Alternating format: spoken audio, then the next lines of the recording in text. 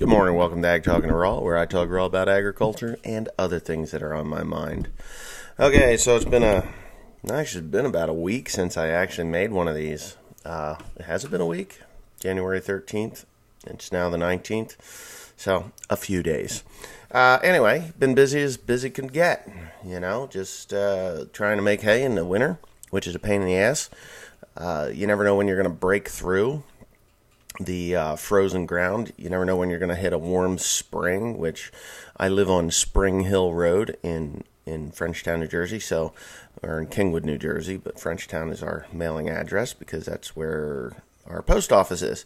Uh, but anyhow, uh, Spring Hill Road is, is there's springs there and all around my surrounding area, and they generally do come up from pretty deep, I guess, uh, because they're warm. Not that you're gonna you know, they're not volcanic warm, but they're warm enough that they don't freeze. So they come up from deep enough below that they they're warm enough that they don't freeze at all around them. So you sink in. So you're constantly wondering when you're going to break through the ice and you know, or this the frozen ground. And uh, we haven't had a super cold uh, winter so far, so we've been working on thin, thin uh, mud and uh, you know water, frozen frozen mud, uh, which becomes rather nerve wracking because when the tractor doesn't sink, it it can possibly what the hell that was when the tractor doesn't sink and the baler does. What'll happen is you'll actually spin out on the frozen ice and mud. So you kind of got to be going at a pretty good clip of speed to do this uh, as correctly as you want to call it, because you know making hay in the winter is not correct anyhow. Uh, but it is what it is, and it's what I have to do. Now, I, I, did have some comments on or questions about you know what the yield was like on that hay. Well, it's down, obviously. Uh, anything after the middle of October it starts to deteriorate. And we did have snow in the middle of November this year, so that kind of screwed things up. It's about eight inches of snow, which matted it down, took it right to the ground.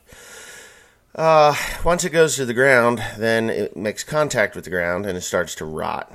Uh, the other thing is deer. We have an extraordinarily large amount of deer uh, a very large deer herd here in New Jersey that is out of control, and they're looking for anything green, and so they're walking all over this thing. And believe it or not, they will mash a whole entire field to the ground.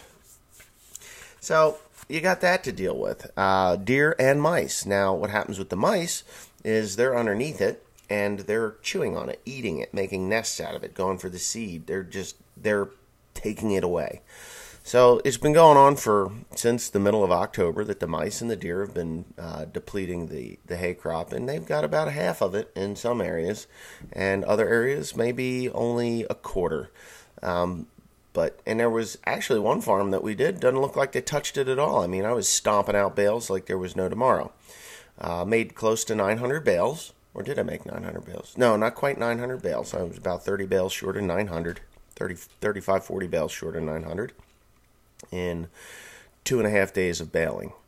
Yes, two and a half days of baling. See, I Teresa's not on the hay rake anymore because William is too small to be bouncing around in the cab. Um, I'm thinking the next go round that I'm going to put him in the cab with me in uh, in the baler, and she can run the hay rake while Joe, Joe, Tim, and Dad, or Joe, Tim, and Cody can run the mowers in front of me. So if I can get three mowers rolling I do have four. I know Jeremy Lee was uh, asking his, you know, he had his girl ex girlfriend call me or send me a text message. wasn't call me, but sent me a text message asking me, and I don't know why he couldn't do it, but asking me why I wasn't using the three point mounted uh, disc mower. Well, the the answer to that is it is incredibly slow to deal with that because you're only going a hydro swing. You can go swing it from side to side, go down the field, turn around, come right back down. Same thing with the self propelled uh, you got a 12. I got a 12 foot hydro swing, and I've got two. I guess you would call them 15 foot self propelled, a case and a John Deere. Okay, so the other night uh, we were working. Uh, had a really productive day. 368 bales on that day. The time before that, we had done 390. We did 398 So I haven't quite hit the 400 in a day. And in the half a day that I did day before last or night before last, before the snow hit us, uh, I made 100 and 116 bales, and it wasn't even half a day. It was in it was just a few couple three hours at night. Um, chased down some. Well, I guess we did get started about two o'clock. I had some work that needed to be done to the baler, and uh, they were running the, the mowers very very slow because the like I said, the hay is getting matted down pretty tight to the ground.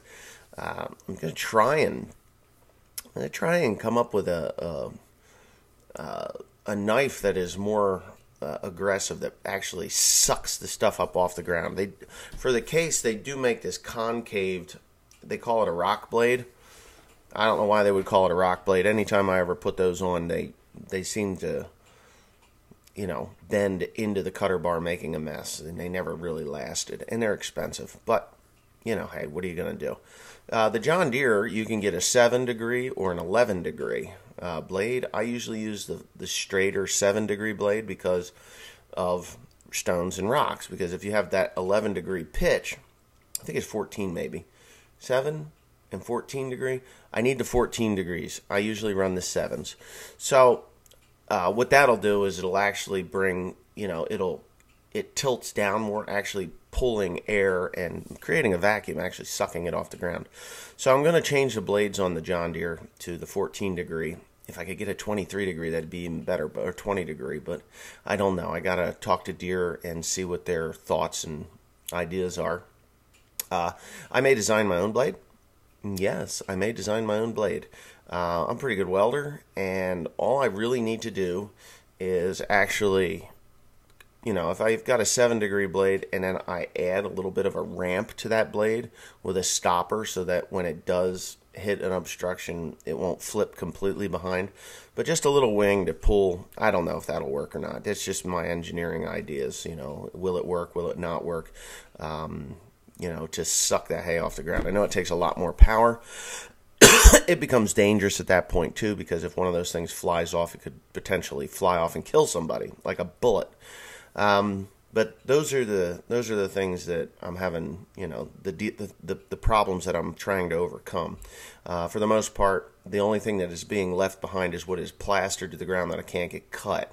Um, even the green, you know, the the stuff that was living before at frost or at the frozen time when it froze, uh, that stuff is like leafy, real leafy material, and it has actually worked its way down and it's kind of made a swirl. It's weird how it goes because it'll swirl around the the original dead standing stuff or the stuff that's dead uh, and laid over, and the, even the rake will pull it up, but I can't cut it. Now, I did on the there was a runway that I did. They uh, uh, yeah, an airplane runway. I do a couple of those actually. It's kind of strange, but yes, old grass strips, and uh, the uh, uh yeah, old grass strips. Anyway, the the uh, when it swirls, it, it really gets tight to the ground, and I can't cut it. And if it was the dead standing stuff, like the first cut that died back, and then a second cut came through, which even you know it was first cut anyway, but uh, this first cut that was that was dead standing, the rake will actually pull that off the ground, and you'll get it. Um, but the second cut or the second growth or new growth or the leafy growth that you would have in that grass hay, it is impossible to get it. The rake won't tear it off the off the plant because it's still got enough uh, living tissue to it that it isn't going to let it loose. So on the runway, Joseph had raked it off, raked it up the runway, and that actually fluffed up the grass enough. I just went down the down the windrow with the uh, with the mower and actually cut it right down. I mean, it worked pretty good. I didn't do the whole thing. I just did a, a small test plot or pass to see uh, what it would be, and we were under time constraints, so I let it go. What's the worst that's going to happen?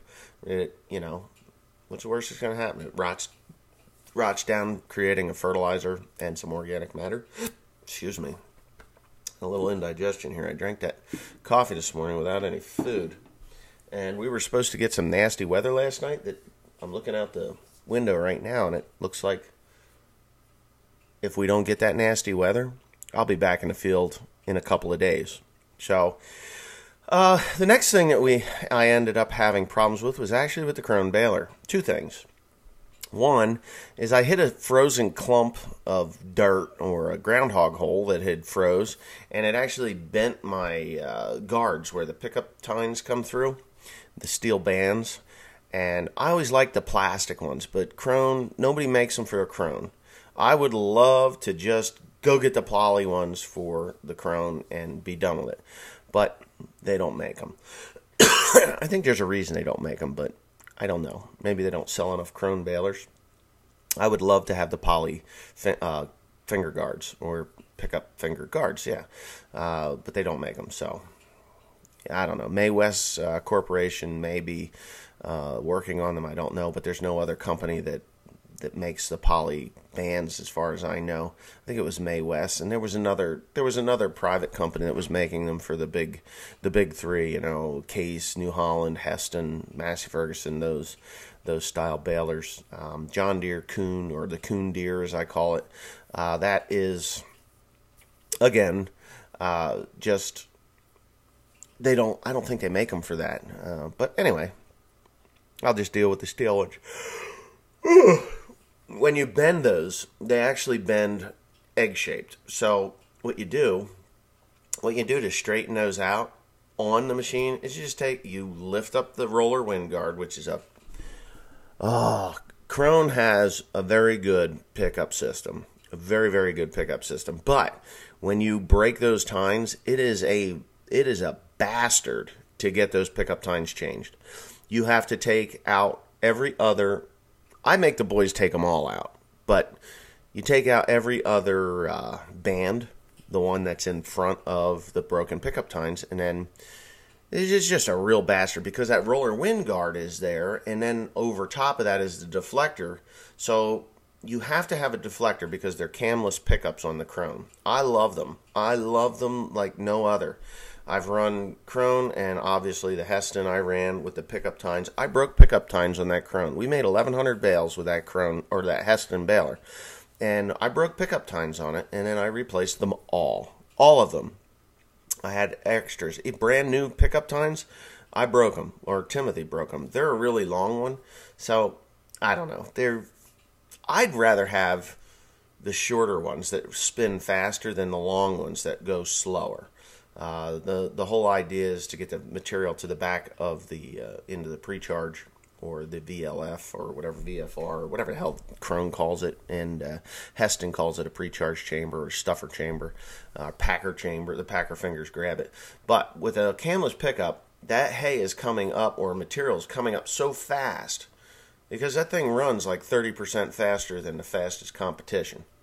So even Hesston's new UDX uh, pickup system does not run nearly as fast as what the Krone does, and for good reason. It's a cam, so you've got all these moving parts, and they'll rattle themselves apart. Whereas the Krone is just a rotor, and it takes speed to throw it off of those fingers.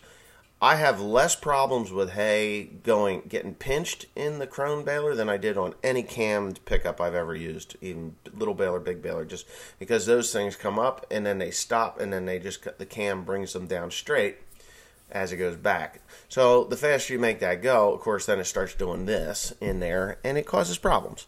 So I'm glad I have the rotor, but there has to be a deflector at the top to keep it engaged into the fingers until it gets up past there where it can chuck it to the back of where the the uh, precharge or that big reel that VF I think I want to call that VFS variable flow system or some shit. Very VRF VFR I. I can't ever remember the the the name of it. And I have the book downstairs but anyway it has to hit that deflector so that it doesn't fly forward. They've got that system perfect but that creates a very tight area to work in so if you're going to change pickup tines in a Krone, my thoughts are you might as well change them all all at once because if you and it's kind of expensive to do that because these things are like seven bucks a piece and it takes 120 of them so it's it's a lot of money. Yeah it's it's it's a it's a lot of money. Uh, i bought a hundred of them just recently and fuck i don't even know what the i don't even know what the bill was. It's just they didn't even tell me just here So I know I bought twelve hundred dollars in knife arms. That's the second problem. Uh, this baler, and you'll probably see it on the One Lonely Farmer channel because I do have some footage of what I was doing. Uh, everything wears, okay? So as things wear, you need to make adjustments. Uh, and that's just the long and the short of it. Pickup tines, ooh, my light went out. Uh, pickup tines wear, so you actually, as they wear down, and some of them, because they're just touching that ground at that high rate of a speed, they'll wear right, they'll wear right down. You'll see a half inch off of them. Uh, the ones that are uh, towards the center of the uh, the pickup. The ones at the ends, out on the ends, are the ones that break off most of the time, because I don't know. There's more it has to throw it into that auger system, and I think it, it actually pulls on it. And then if you hit that, whatever, it just there's certain areas on every pickup that they that they uh, break off in more than others. But I've learned over time that it's just better to if you start breaking pickup tines, just change them all. Just change them all. Throw them all away because they become fatigued, and that that's it. But if you want to straighten out, I know I'm getting bouncing all over the place here, but if you want to straighten out the pickup, uh, the bands in the, your steel bands, you know you've hit a groundhog hole, and you can see that they're that it's bent upwards. Don't go to the top and bend it down because you can't. In a Krone, you can't do it. New Holland, you can do it, and Hesston, you can do it. But or Massey Ferguson, Hesston, Agco, Agco balers.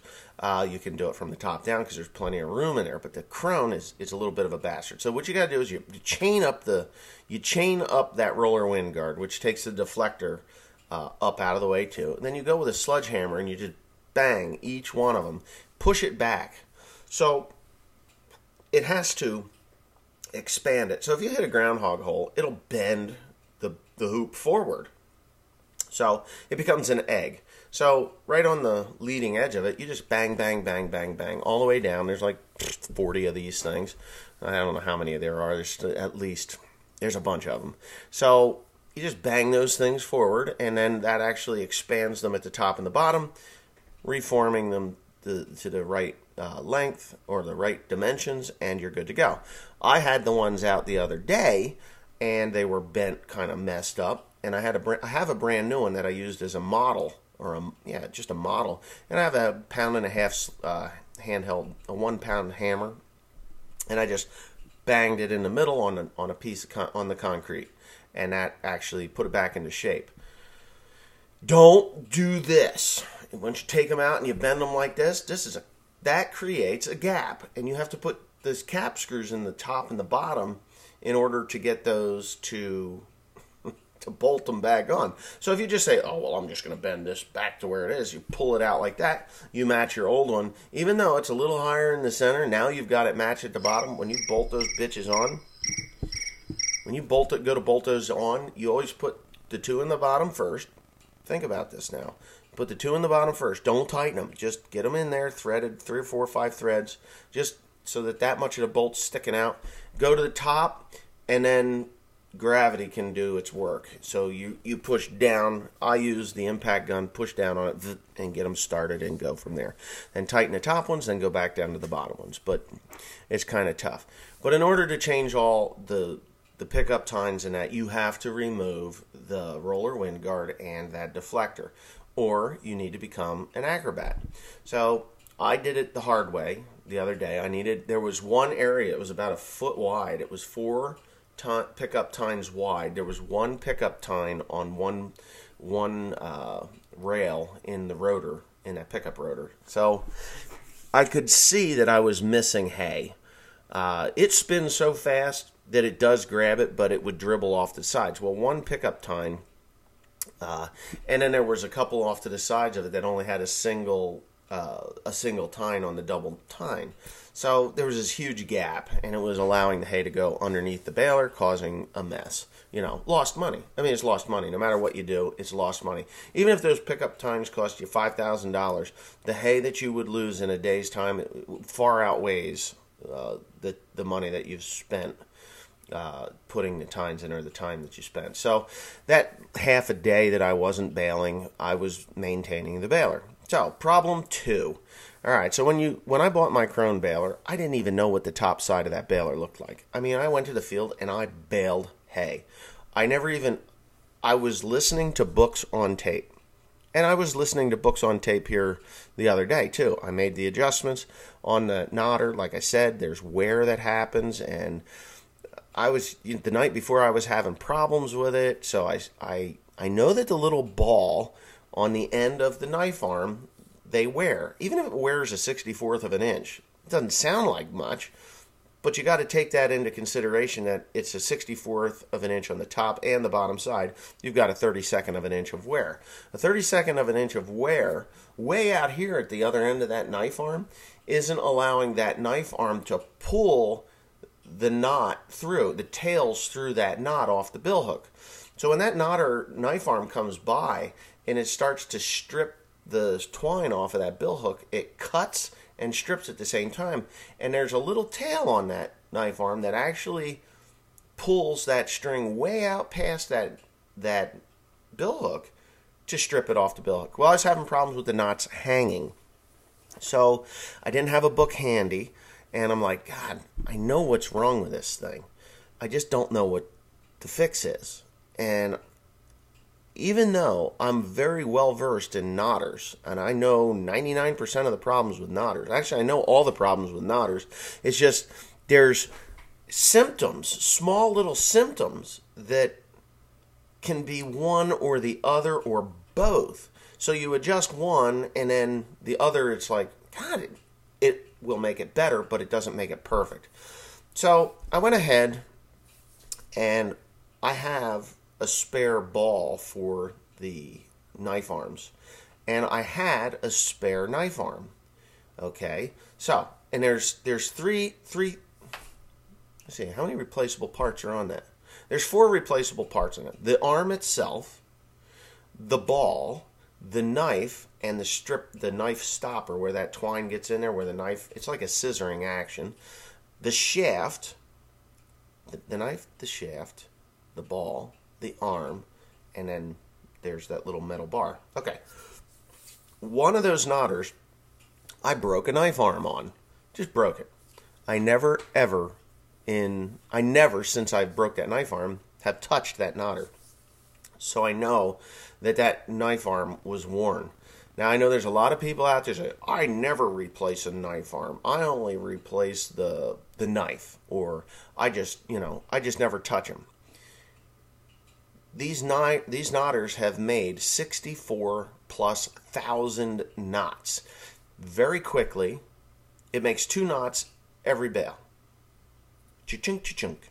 So as the needles go up it makes a knot. Then the needles come down past the knotter tucker fingers come back slam that thing into the twine disc and it makes another knot all in one stroke so one needle stroke comes up cha-chunk comes down cha-chunk you got a bale and the start of a new bale so, very quickly, blink of an eye, it's done. I mean, one stroke of the plunger, that thing strokes at 45 strokes a minute. 45 strokes a minute. That's almost a stroke every second.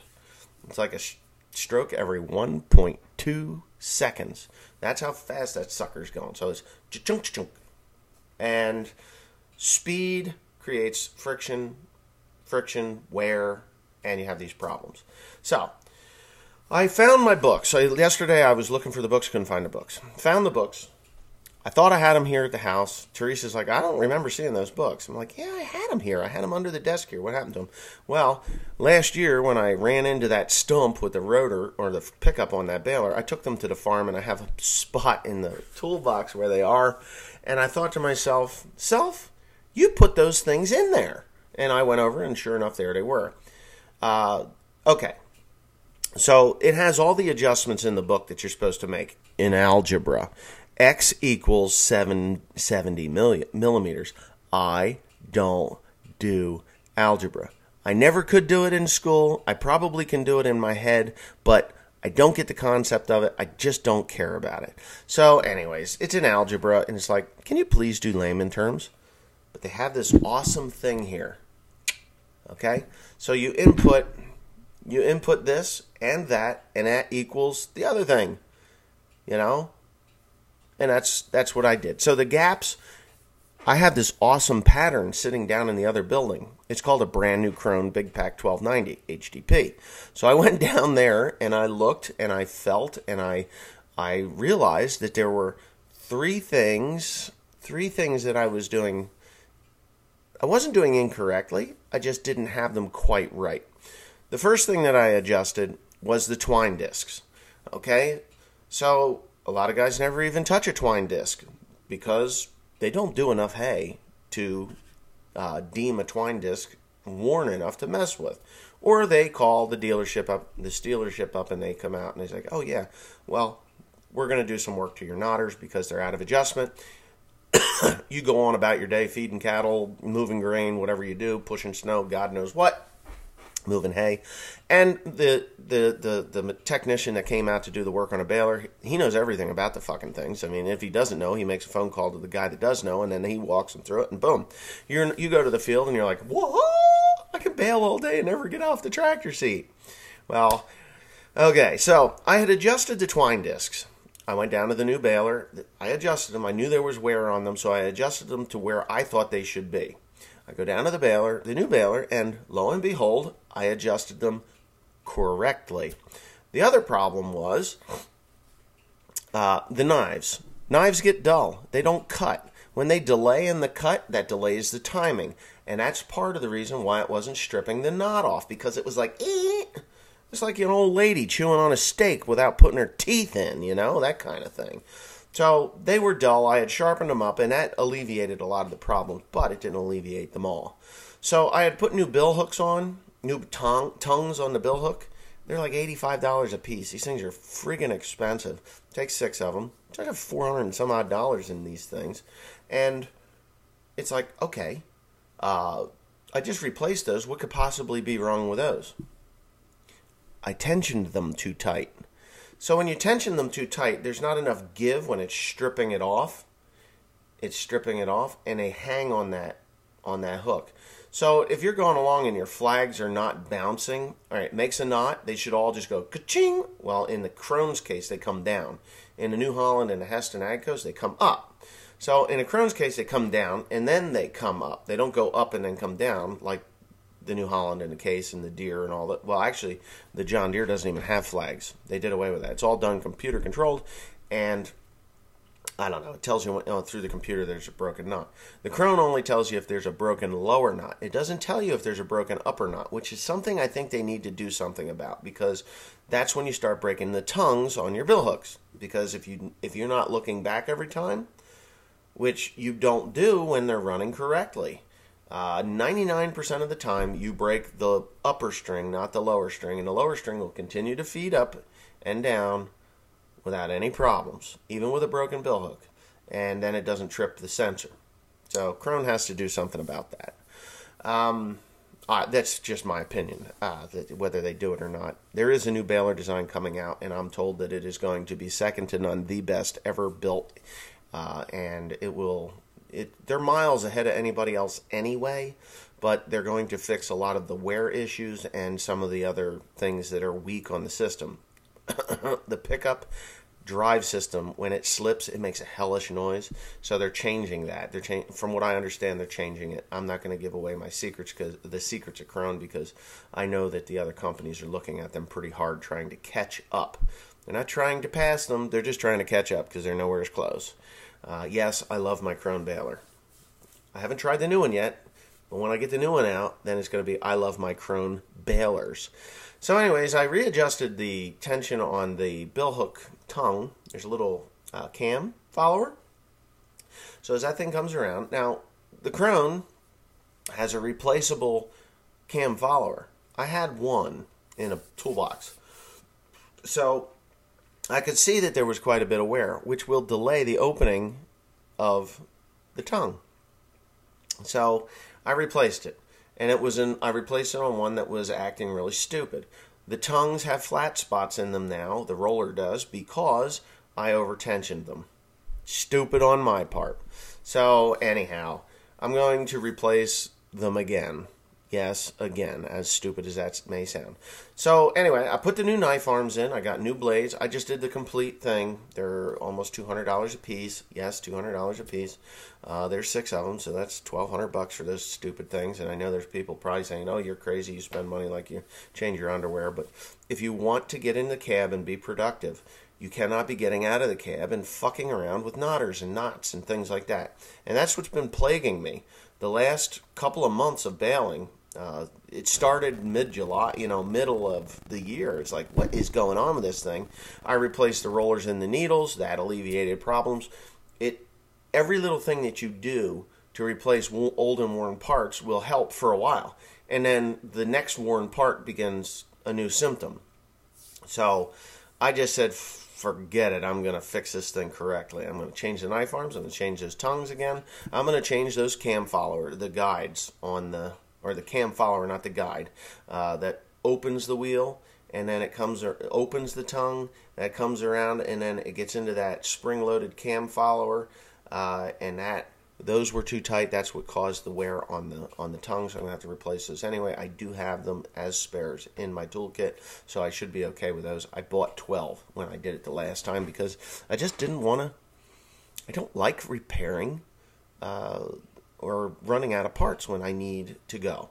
So that's that's what I did. Uh, anyway, so the baler's running okay. It's, well, it's to run okay. I don't know. I haven't. I got snow and rain and snot and shit and salt on the roads. You know. You ever wonder about having salt on your baler? yeah, right. Oh my god. So anyway, I guess that's just what I'm talking about here today. Uh, I did get close to 900 bales baled. I think I said that already, and uh, I think I'm going to touch on some of these uh, some of these comments now. I don't know. A couple of them they're they're just not even worth reading. You know, I went through this.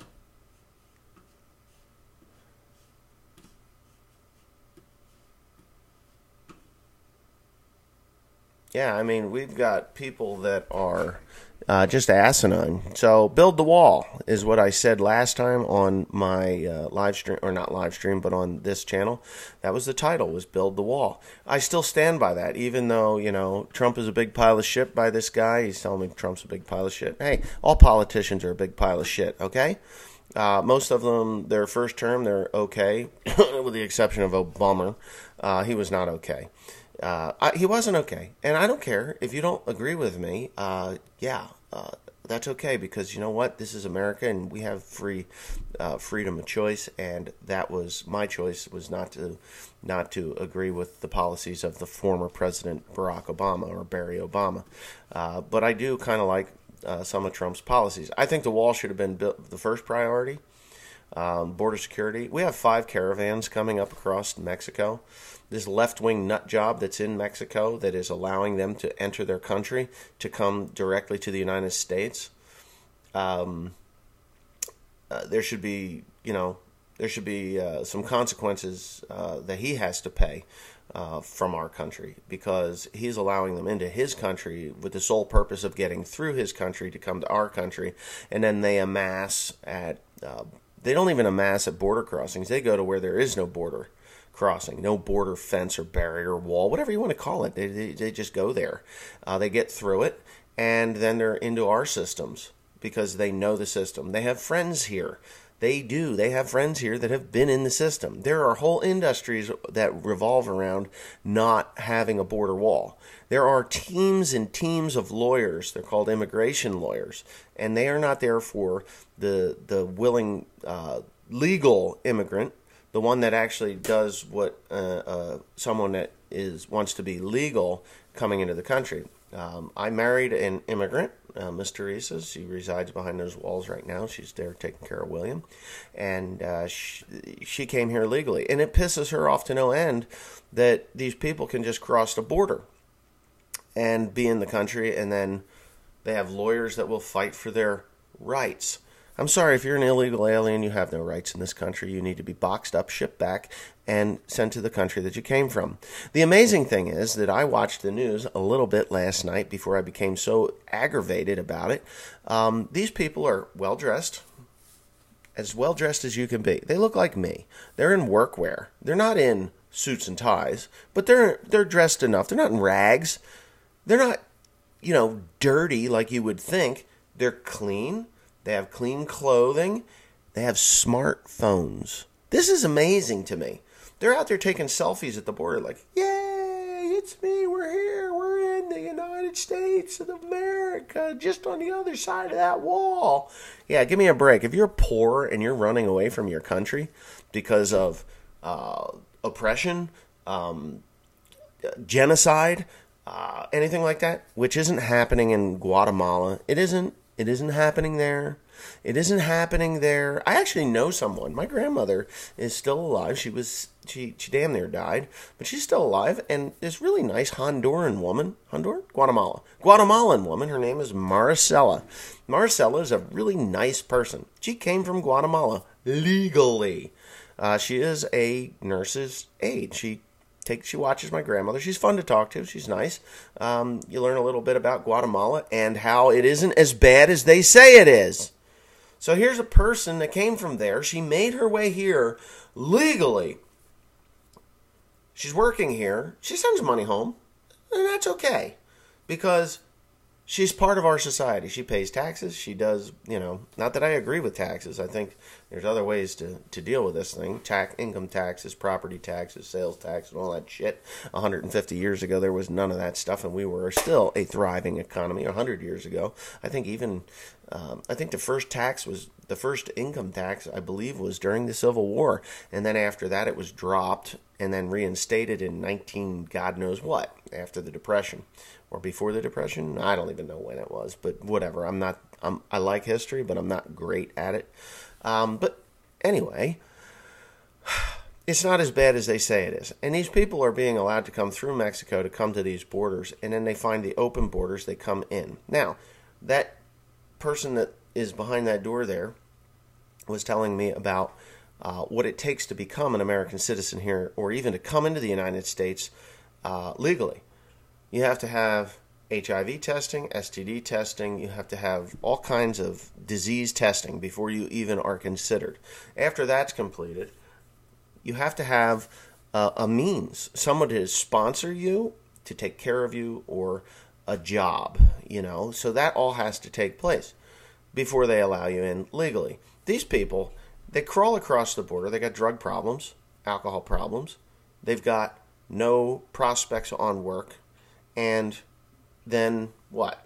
They come in here, they work for pennies. If they're fortunate enough to make it across without being inducted into the slave trade. And yes, when I say a slave trade, it is called human trafficking and it happens every day at the border. If you're a pretty girl crossing that border and they pick you up, your ass is going to be in a whorehouse and you're going to fuck your way into the United States.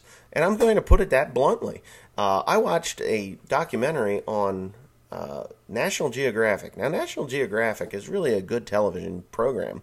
It was a good magazine back in the day. I don't even think they publish that anymore, but it is on TV.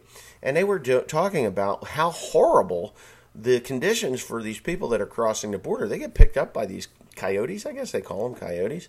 And then, you know, hey, we'll help you across the border. They take you you have to come up with like $2500 in the country you're leaving.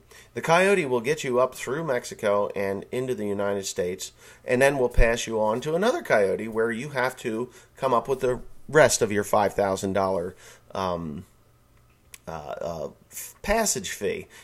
Okay, so most of these people they scrounge enough money to get here, but they don't have any money to get through.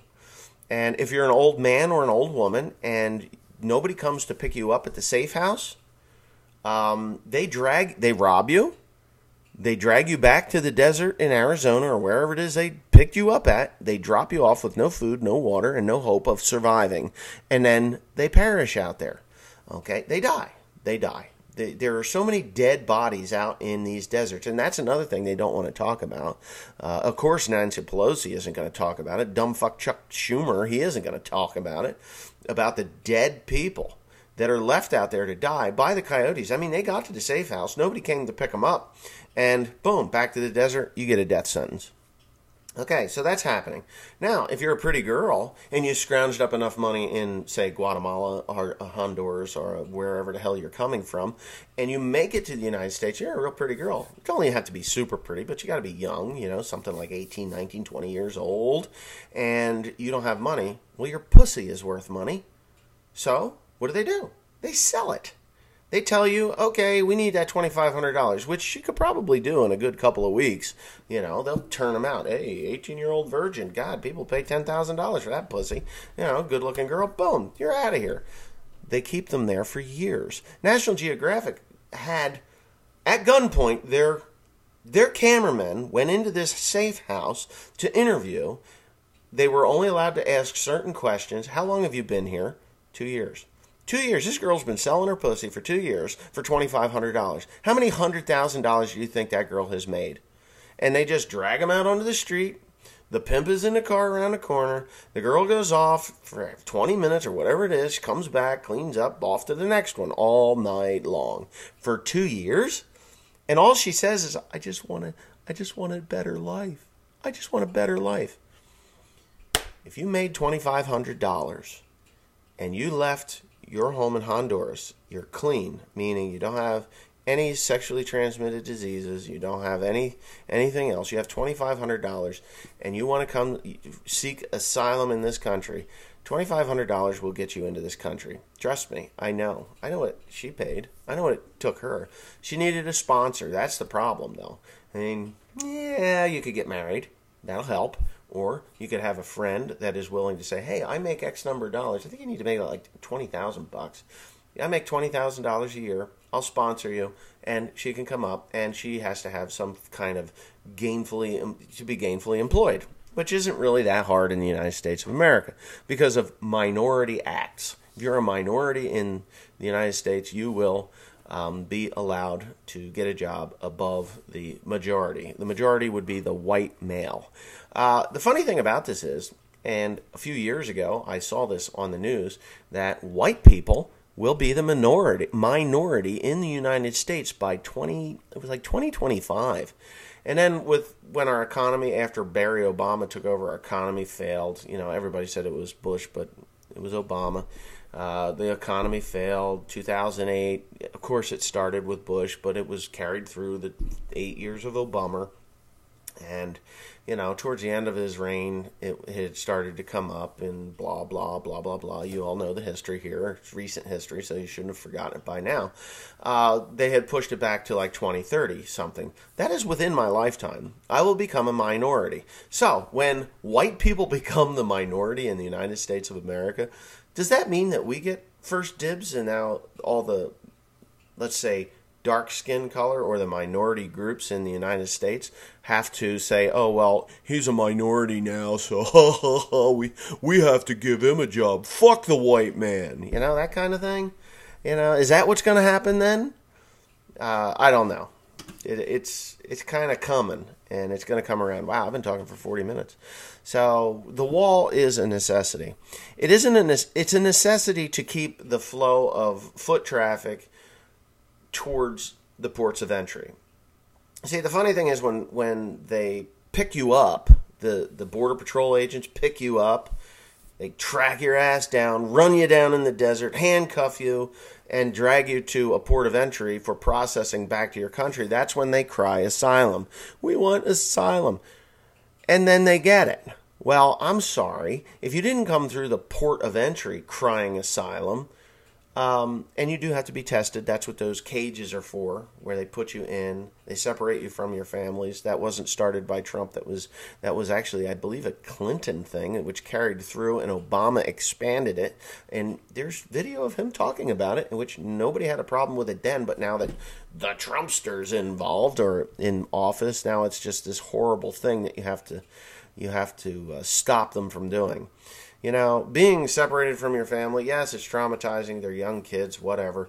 They got video games and it's air conditioned. They got a bed and warm clothes, clean clothes, and food. So they should be pretty happy about it until their parents are processed, and then they decide whether they're going to allow this illegal son of a bitch to come into the country and suck off the tits of America or ship them back to the country that they came from where they know they can they know how to survive there. I'm sorry. Um, they know how to survive there. I've been to third world country, Philippines. I go there lots, and I see the people. They're happy. They survive. Do they want something better? Yes, because they think they want something better. When they get here, it's a different story.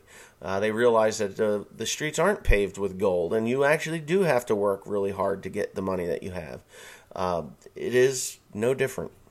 So, but anyway, ah yeah. So I'm going to read a couple more of these things, and I'm going to let it go. Great topics discussed there, Wes. I thought Mexico was paying for the wall. Mexico is paying for the wall. Uh, Massey, Massey man, MM, Massey MM. Mexico's paying for the wall. See, this is this is the thing that. All right, let's touch on something else. Mexico's paying for the wall. They're paying for the wall in a roundabout way. It's called in the trade agreements. This NAFTA, trade agreements, free trade isn't free. The what Clinton signed into office wasn't into law was not or Clinton signed into law was not free trade. It was free for their shit to come to us, but it cost us to send goods to them. Okay? That's not free trade. That's one-sided trade. So, what will a Mexican buy that is 16 to 18% more expensive than what they're selling within their own country? That protects their manufacturing, protects their jobs, doesn't protect our jobs. Our jobs are being, you know, deported into China and Mexico and Canada and wherever else they can do it cheaper. Um, yeah, so when you renegotiate a trade deal, that means that they actually have to pay for, you know, that there isn't free trade one way, it's free trade both ways, or no trade at all kind of a thing. That's how the wall's being paid. It's through the uh, the VAT, the dropping of the VAT, or the uh, or the mandatory uh, trade equal trade versus the trade deficit that we had. So Mexico sends a bunch of shit, or we send uh, our factories down to Mexico to build it to sell it back to us with no with no tax fat man in the office sitting in Beverly Hills, California, he makes lots of money because there's no VAT if we made it here to send it to Mexico. We send it to Mexico, they can sell it within Mexico with no VAT. They sell it for less, but not quite as less as what the VAT would be, and blah, blah, blah, they make money. So we get that equaled out. Now there is no trade deficit coming from either one. If you sell us air conditioners, you have to buy our grain. Or if you sell us grain, we have to sell you fuel, or whatever it is. whatever it is, get that thing. And that's what a trade deficit is. The huge trade deficit between the United States and China is China sending us all these goods for say say they're say they're buying 10 trillion dollars worth of goods or selling us 10 trillion dollars worth of goods, but they're only buying 1 trillion dollars worth of goods from us. Now, China isn't going to buy little plastic balloons that you buy at Walmart. They're going to be buying food, corn, soybeans, wheat, barley, rice, rye, whatever they need to buy needs to go in there. So they're only buying $1 trillion worth of food, food goods, or grain from the United States. So now there is a $9 trillion deficit. So it needs to do this. Either China needs to stop sending us $10 trillion worth of crap that they could sell at Walmart and purchase uh, four more trillion dollars worth of grain to get the deficit at zero. So there is no deficit. Five trillion dollars worth of crap, five trillion dollars worth of grain. Because China builds its own cars. China builds its own computers. China builds its own stuff. They don't need electronics. They don't need furniture. They don't need the little plastic whirligigs that you buy for your children at Walmart. They don't need to buy greeting cards because I doubt they even sell them there probably all hand done. So, what they need and what we have is grain, food for their hogs, food for their chicken, food for their beef. They like to eat, and they have the money to purchase that food. So, that's where the trade deficit needs to be equaled up. Um, fine. It, and what has been happening is they've been buying soybeans and, and corn from Brazil, Argentina, and they don't sell whirligigs and horse shit like that to Brazil and Argentina. So they're they're they're buying four trillion dollars worth of grain and we're getting all that crap. So if we get rid of if we equal up this trade deficit and produce more stuff here in the United States that we don't have to buy from China. Get China in check, get their pollution in check. Like, hey, dudes, if you keep polluting the air that's coming across the Pacific Ocean to us and polluting our atmosphere or air, we're not going to buy this crap from you anymore. We're going to produce it here in the United States, or we're going to fine you for that pollution by um, imposing a tariff until you get your shit together. So that's how you kind of equal up the trade deficit. And I'm sure there's a lot of people that are freaking out right now saying, you don't understand how it works. Well, no, I actually understand perfectly how it works. Um, and that's just, it is. That's how it works. If if, if, if you don't think that I'm correct, do a little research and figure it out for yourself. Uh, trade deficits generally they buy what they need, not what they can produce themselves. What they need is food, uh, corn and soybeans. So when Donald Trump took office, uh, farmers across the United States lost money because, and it's this is bullshit. This is bullshit because China says, you know what? If you're going to put a tariff against us, we're not going to buy corn and soybeans from you. We're going to buy from Brazil and Argentina.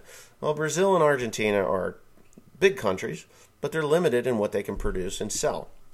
They can't sell $10 trillion worth of grain to Brazil or to China to, you know, to, to fill that order.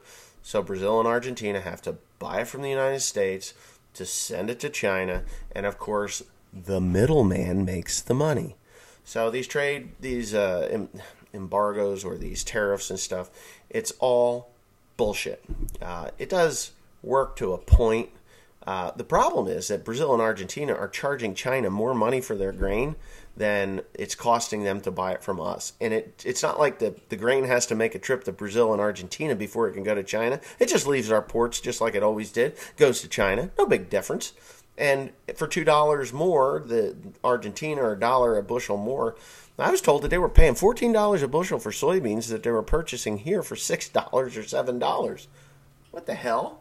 And then to ship it over there, blah, God, it's crazy. It's crazy how that works. But uh, anyway, yeah, build the wall. Get these people funneled down to ports of entry like they're supposed, points of entry like they're supposed to come into. Let the border patrol agents take care of the the ones that are allowed to come in, and you know the true the true uh, poor, not these. And here's another thing: more than 50, less than 50% of the people coming to our borders to cross our borders are actually from Guatemala and Honduras. The, the rest of them come from Middle Eastern countries. They come from China. They come from India. They come from wherever it is they come from. They can go into Mexico, fly into Mexico on vacation. There's no big deal. And then they make their way across the border. Now, why are they doing that? Uh, they have a criminal record. They can't fly here directly. Maybe, possibly.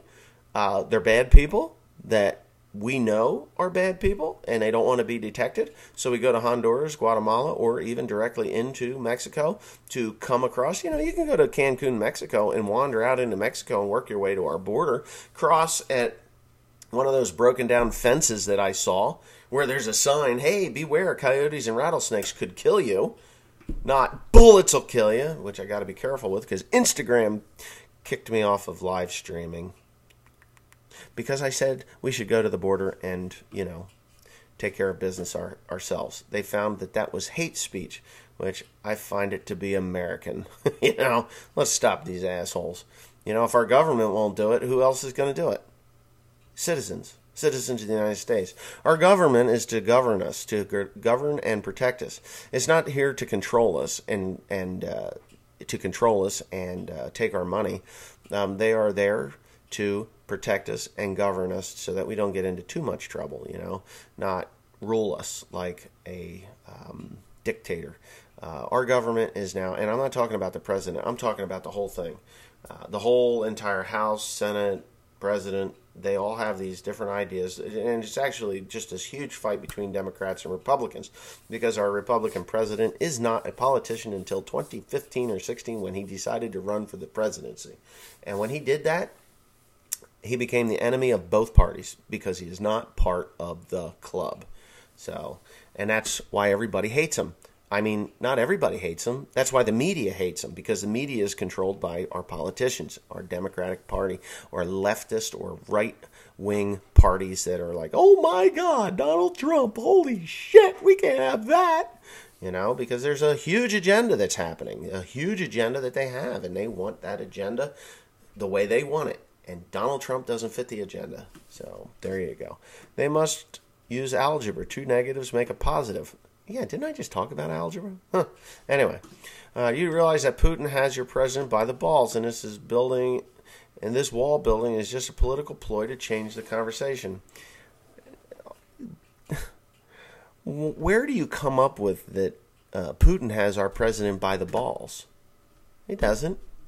It's just, you know. I love this. For your information, Soylent Green is people. That's correct. I actually rented the movie and I watched it twice while I was baling hay. This, the simple thing is, it's kind of funny. Um, you think artificial meat is bad? I read an article a few years back when the Japanese scientists are making recycled protein from human waste. Now that's just nasty. yeah, eat a hamburger, recycle the shit, feed it back to us as a Soylent product. Oh, and I did see that uh, Soylent is sold on Amazon amazing.